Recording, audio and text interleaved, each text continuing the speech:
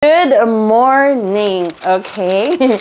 so, welcome to today's video. If you're wondering hmm, bakit may ganito ako, because it's Happy Kadayawan in Davao in August. We are checked in currently in Avida. Supposedly, there's indak-indak in Kadalanan. However, it's moved to 2 p.m. instead of 7 to 8 a.m. And now, maybe it's a blessing disguise because in today's video, if you have read the title and you clicked on it, it's my first day for my Master's in Basic Education in English. I have officially enrolled late in Ateneo de Davao University and I just decided because I want to pursue English. I did enroll in a different master's last year um, however, it's not applicable with me since I cannot go do missions and leave my family. That's why I'm just going to make sure and pursue my English studies at the same time look at the long-term goal for my family.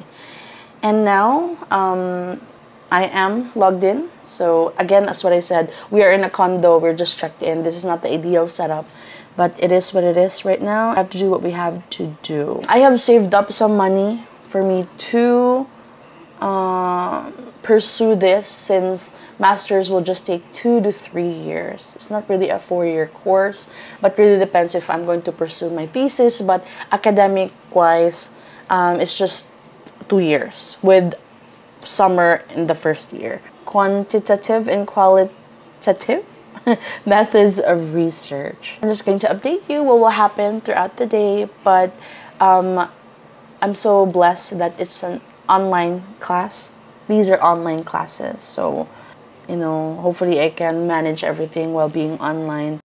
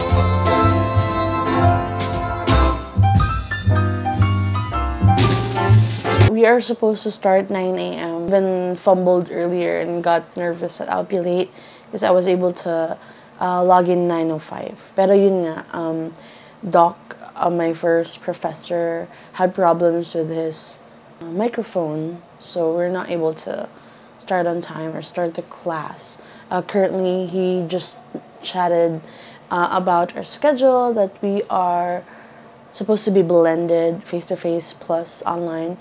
Um, but we all agreed that we can do online and we're just gonna do the face-to-face um, towards the end of the sem for our defense. The thesis and papers but it's okay. It's for my own growth. And i think i deserve learning rather than just scrolling on social media doing nonsense stuff. So i better just learn and practice my brain rather than just doing learning new stuff online that are not mm, good for my well being, insecurities, comparing myself, and not just being productive if I just scroll online and just watch YouTube videos. So it's really, to, this year will be a great year. I know that. God had promised me that. Um, no matter if I am on my high, on my lows, but I know that it'll be a good year, it'll be a good day. But yet, according to His will, I will finish this. And if not, know, let's see. But I will work hard at the same time, work hard for my tuition and to provide for my family. But yes, this is the start of a new journey. And I hope you could comment some good words and, you know, encouragement for me to pursue this. See you again soon.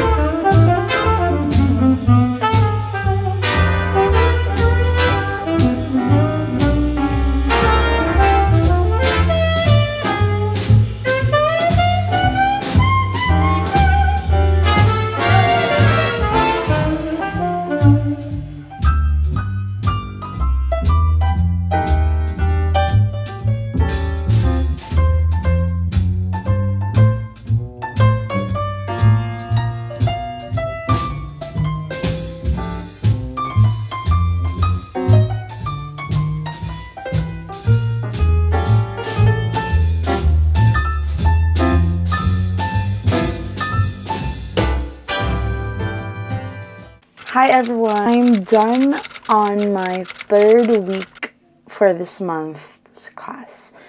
Uh, last week, I wasn't able to vlog because we went out and uh, doon ako nag-class. And unfortunately, some other, um, some parts doon where we were last week, wala masyadong magandang, hindi masyadong magandang yung signal. Um, intermittent yung class ko, so that's why I decided not to vlog. And I didn't bring my camera as well para focus on both of what I'm doing, eh, where I was, and at the same time my classes. All right, so today it's quite, it's not that hectic, but um, I woke up with a project that we will be submitting um, before the midnight strikes. So 11:59 p.m. and we are supposed to we are going to critique our research um, a research uh, article inassign sa akin. So, that's with uh, my MAED 513 quantitative, quantitative and qualitative method. In Inassign sa akin is um, phenomenological study. And I found one. It's not related with English, but it's related with teaching, which is online teaching after COVID or during COVID. So I'm almost done with that and after which we did um, an orientation with all the graduate students at 1 p.m. earlier.